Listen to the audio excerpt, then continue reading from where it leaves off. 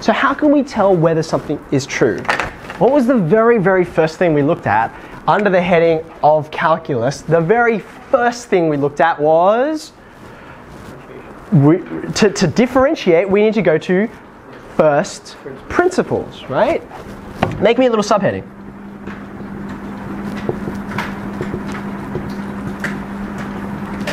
Now, first principles isn't a very uh, fun, quick process usually, but it's useful because when you don't know what else to do, it's your foundation. It's what everything else is built on. Okay.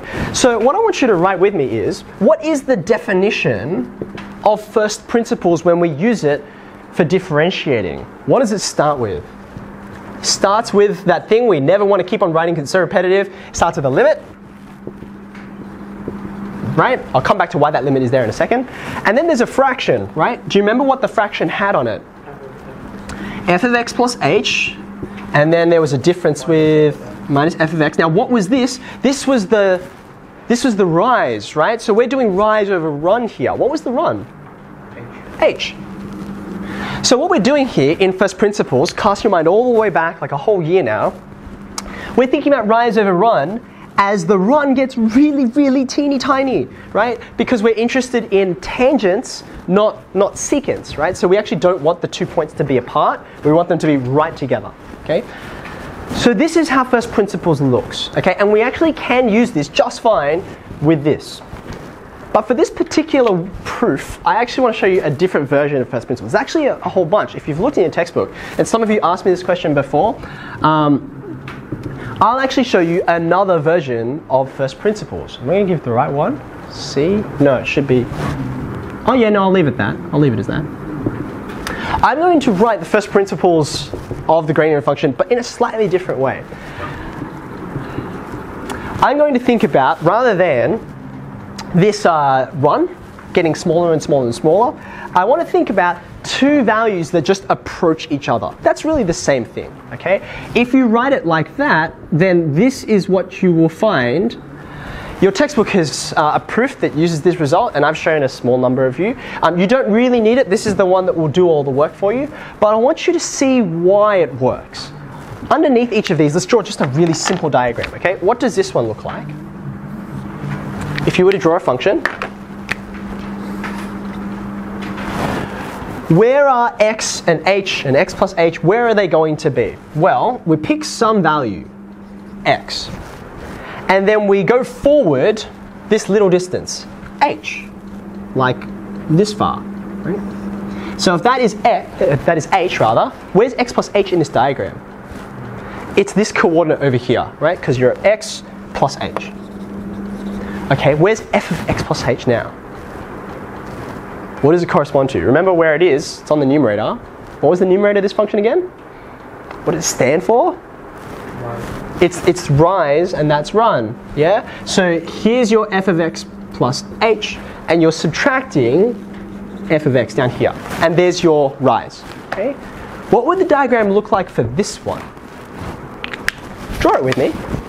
We're gonna have the same kind of picture, but all our labels are gonna be slightly different.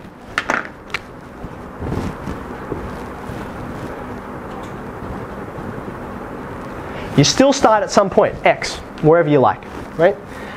But the place we're going to go, ooh, I've done it backwards, sorry, is going to be somewhere else that's not far away, but I want to compare the difference between these. So that's why it's X minus C. You see how that's the run now? Maybe I'll write that for you.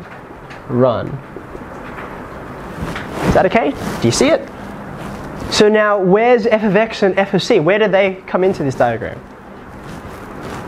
Where did they come in over here? They're about the rise, yeah?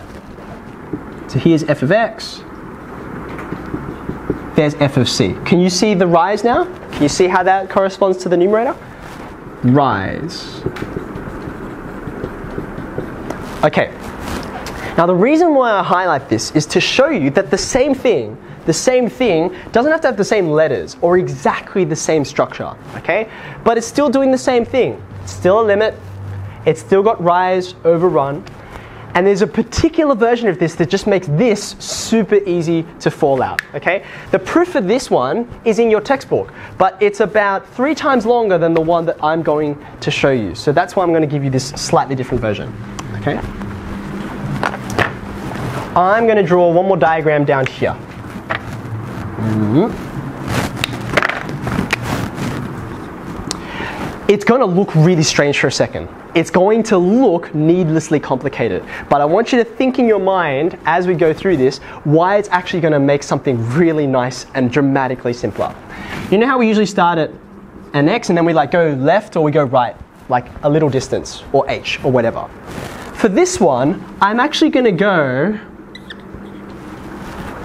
both directions. I'm going to go h units that way to the left and I'm going to go h units this way to the right. Think with me. Not a trick question. What's the right hand coordinate going to be? You recognize this one already. It's x plus h because you went to the right. What about the other one? x minus because you're going the opposite direction. No big deal. Okay, so what's my run going to be? Look carefully.